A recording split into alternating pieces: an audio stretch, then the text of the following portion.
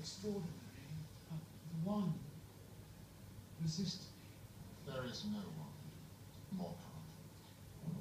Oliver himself has said it. Tonight, when the voice